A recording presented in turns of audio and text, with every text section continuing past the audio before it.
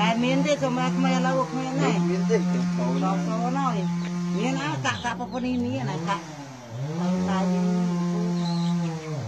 ណាចំណៃជំរាបសួរបាទពុកម៉ែបងប្អូនលោកយាយលោកតានិងអំប្រអ៊ំស្រីព្រមទាំងលោកគ្រូនិងអ្នកគ្រូនិងបងបងទាំងអស់ដែលតែងតែឆ្លាញ់វត្ថុស័ក្តិសិទ្ធិស្វែងរកវត្ថុស័ក្តិសិទ្ធិថ្ងៃនេះបងអូនមកបង្ហោះឃ្លីបវីដេអូមួយស្ដីអំពី ក្របផ្ទះបាញ់អញ្ចឹងពុកម៉ែបងប្អូនលោកយាយលោកតានិងលោកគ្រូអ្នកគ្រូទាំងអស់និងអ្នកលេងវត្ថុស័ក្តិសិទ្ធិទាំងអស់ប្រហែលជាមិនដែលឃើញដែលឃើញហើយប៉ុន្តែមិនដឹងថាជាអ្វីជារបស់អ្វីដែលហៅឈ្មោះថាអ្វីហើយកើតឡើងមកពីណាហើយវាជាអ្វីម្យ៉ាងនោះទេអញ្ចឹងថ្ងៃនេះបងអូនបានក្រំផ្ទះនេះមកយូរហើយតាំងពីតាំងពីបានចូលភាសាឯណោះអស់បាន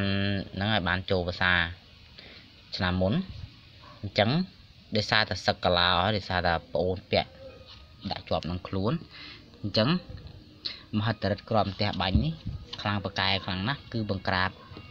នឹងខ្មោចព្រាយបិសាចហើយនឹង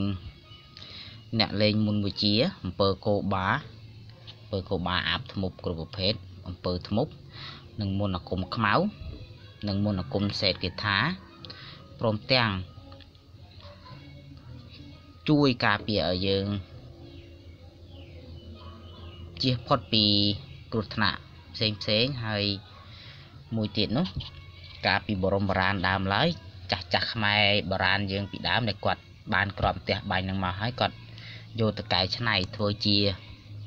ទំពក់វាយក្បាលក្នុងក្បាលដំរីកំបិតមដំរី និងកំបិតគ្រូសិលគ្រូធ្មប់និងគ្រូបង្ក្រាបខ្មោចនិងកំបិត ពិជ័យមហាសង្គ្រាម គឺកំបិតមហាបង្ក្រាប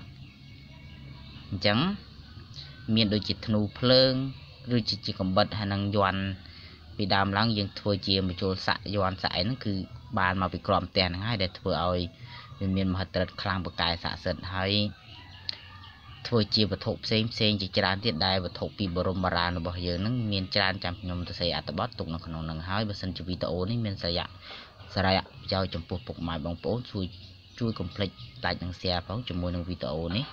ហើយសូមអរគុណនិងសូមជម្រាបលាហើយរូបរាងគេនឹងដូចជាឆ្លើងណាបងប្អូនដូចជាឆ្លើងដូចជាទៀកយើងមើលអញ្ចេះទៅវាដូចជាប្រម៉ោយដំរីអញ្ចឹងមើលអញ្ចឹងទៅដូចជាប្រម៉ោយដំរីកន្លែងនេះកន្លែងបាញ់ចុះក្រោមហើយកន្លែងនេះជាកន្លែងឡើងលើហើយមានមាត់ប្រហោង3ដូចជាទៀកនិងប្រហោង